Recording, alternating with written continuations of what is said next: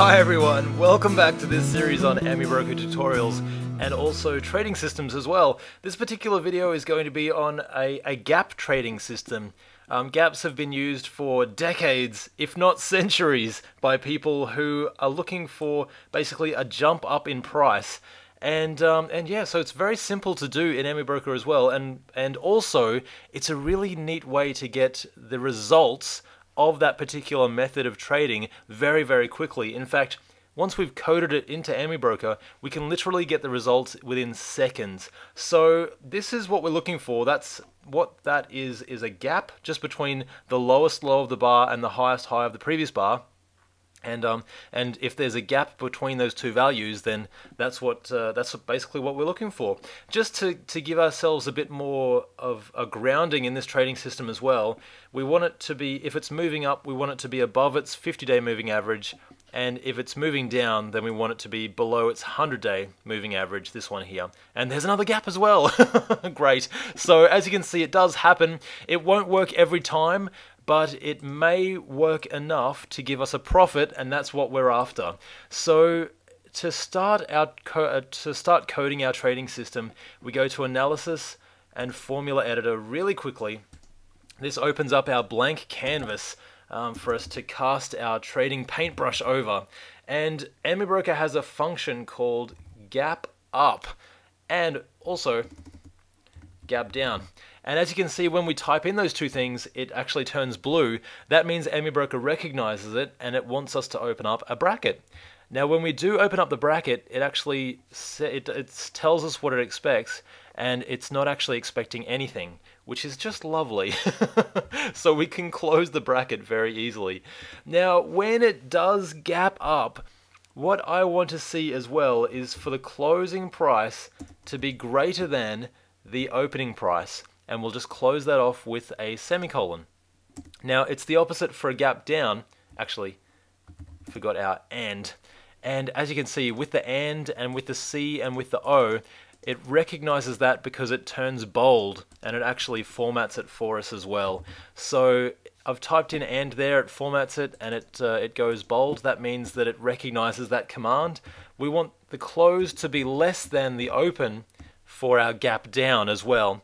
So next all we have to do is just turn these into arrays by, we can call it anything we want really. I'm going to call it gap D and if we say equals, that one there, um, then every time it sees gap D it will return our gap down and I forgot the brackets there, there we go, and the close less than the open.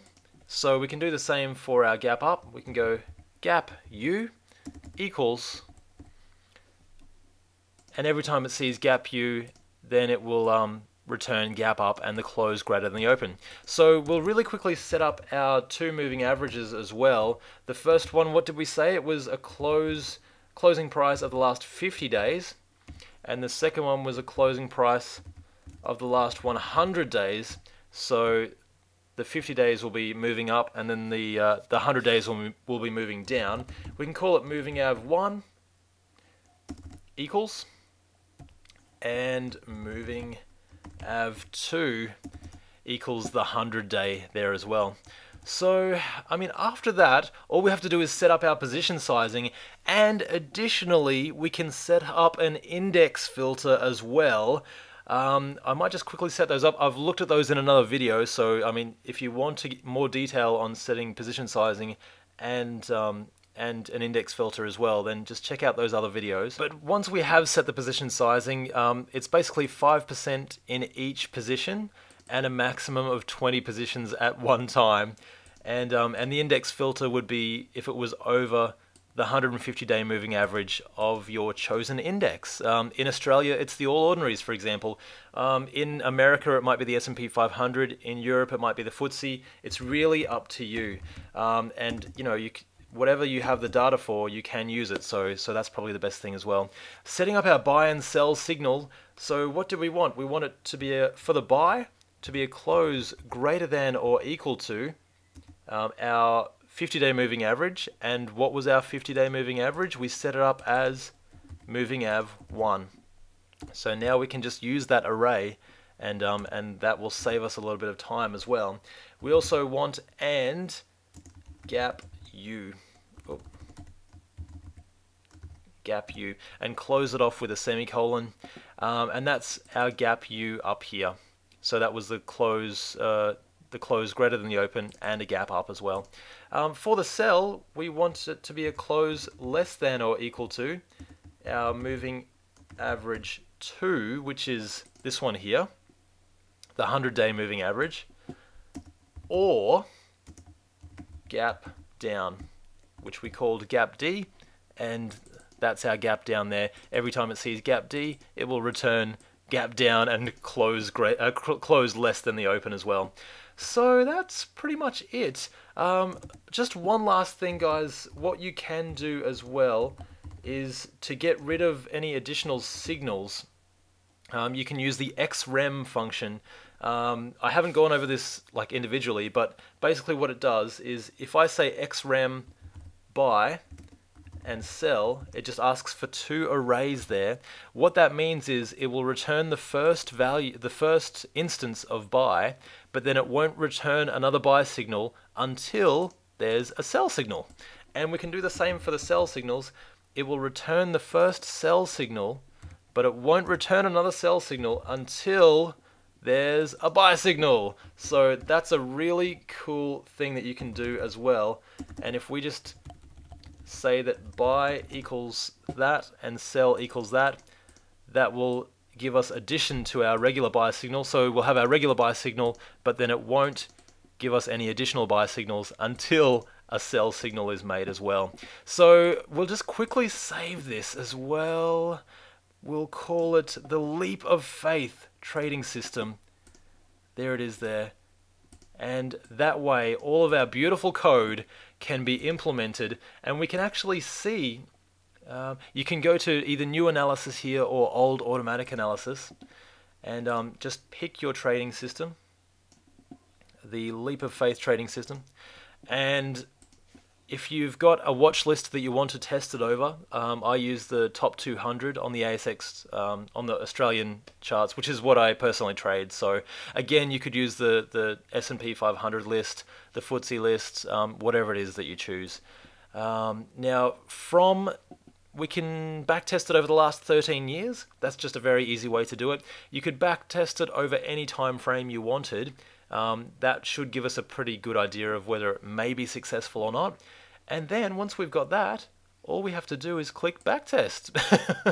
and as you can see, within literally two seconds, it gives us the information, um, or it, it's it's backtested those 200 stocks over the last 13 years. Um, if we were to do this manually, guys, it would take us weeks and weeks and weeks, if not months, um, if we ever got it done at all, to be honest. So this is so great, just such a great way to do it. If we click report here, then it will give us our our stats. And that's that's the best part. So as you can see, it's got an annual average return of 28% per annum, um, which is pretty good. Um, the win percentage is 38%, so that's not amazing. Um, and if we just let's have a look at the equity curve because that's a good way to do it, good way to check.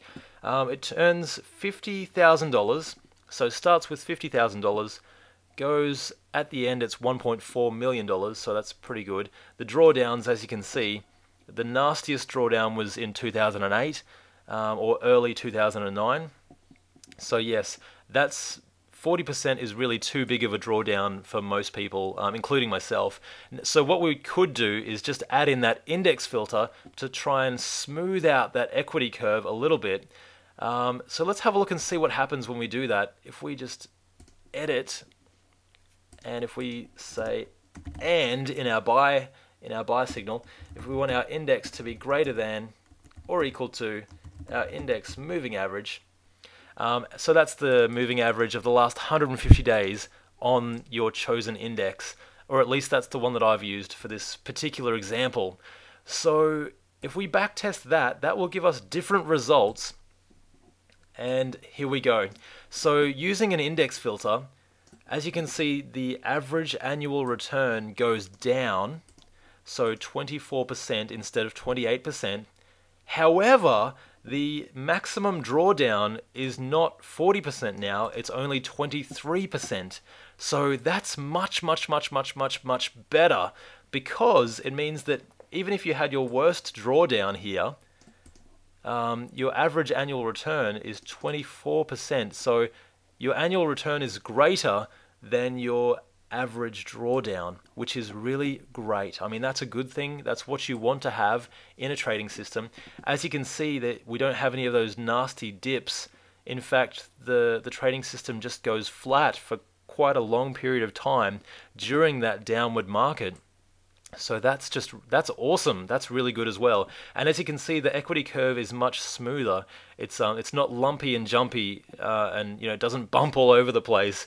Um, what we've got is it sort of smooths out, and then yeah, it's it's a it's a smoother ride, which is what we want. Um, here's our drawdown. The worst drawdown was uh, just over 20%, so that's fairly respectable as well.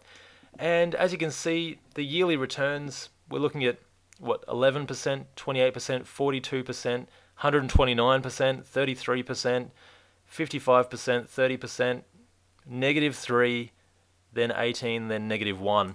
Um, so yeah, I mean it does go all over the shop, but you know so does the market as well. There's our long tail. Not as many, um, not as many really big wins there, but it does have the big wins, and then it has you know obviously more of the the larger winners than the um, than the losers there as well. So yeah, I guess that's just a way of looking at your trading system. I love looking at the equity curve because that gives us a good representation of the drawdowns, and it's a very simple trading system that anyone can program. So I hope that has helped in some small way. As you can see, here are a few examples of the trades. Um, but I hope that has helped in some small way. What a great trade that one. Isn't that beautiful? And um, you know, if it has, shoot me an email at the site. It's asxmarketwatch.com. Um, I've got a whole bunch of other trading systems there that are freely available to anyone, just to just to sort of get your own ideas or create your own trading system as well from those ideas. And um, yeah, just really trying to help out as many people as I possibly can. Guys, have a great week, have a great month, have a great year, and hopefully we'll meet again soon. Bye for now.